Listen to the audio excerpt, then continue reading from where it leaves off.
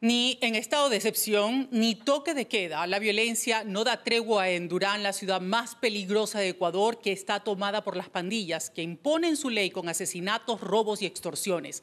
A plena luz del día acribillaron a cuatro jóvenes entre 18 y 30 años que no tenían antecedentes penales. Según los moradores, los gatilleros estaban vestidos de militares. Entraron en un callejón, arrodillaron a las víctimas y las ejecutaron. Esta masacre se da en medio de un estado de excepción en el que se supone que Durán debería estar militarizada.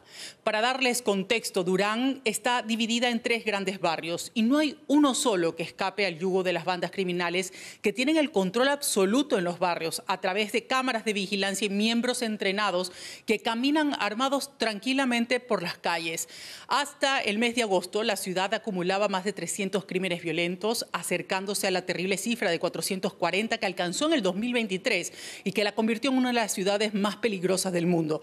Esta es la segunda masacre en solo días que se da aquí en la provincia del Guayas. El fin de semana acribillaron a siete personas en San Borondón, una ciudad que colinda con Durán y Guayaquil. Hace dos semanas se dio otra masacre en Durán, donde incluso los cuerpos fueron incinerados en medio, en medio de la calle a plena luz del día.